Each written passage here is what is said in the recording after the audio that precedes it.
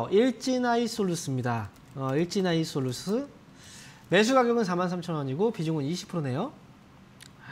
아, 43,000원이면 음, 높군요. 최근에 사신 게 아니었군요.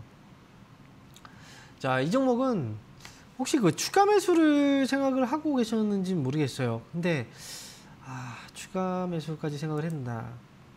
음, 지금 20% 비중이고요. 만약에 추가 매수를 생각하신다면 일단 지금은 추가 매수를 하지 않는 게 좋을 것 같네요. 왜냐하면 어, 29,000원이라는 가격이 사실 바닥일 수는 있어요. 근데 제가 볼 때 이 종목은 약간 불안한 부분이 좀 있습니다. 그게 뭐냐면요.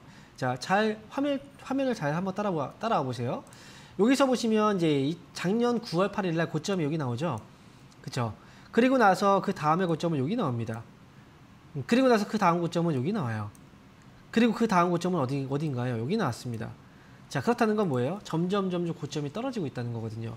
하지만 저점은 계속 같은 자리입니다.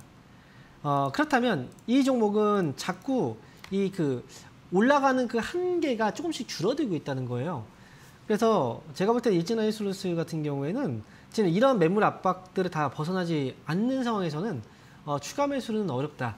그래서 위쪽으로 어, 정확하게 이제 아, 이 종목이 이제 앞으로 더 올라갈 수 있겠구나라는 어느 정도의 확신을 가질 수 있는 그 가격대는 35,000원을 확실하게 넘어갔을 때입니다. 그 전에는 계속해서 왔다 갔다 왔다 갔다 라고 왔다 갔다 하면서 저점을 계속해서 잡아가는 과정일 뿐이다. 그래서 이 종목은 어, 일단 추가 매수 없이 35,000원까지 한번 가보시죠. 그래서 35,000원 올라오면 그때 다시 한번 상담을 받아보시는 게 좋을 것 같습니다.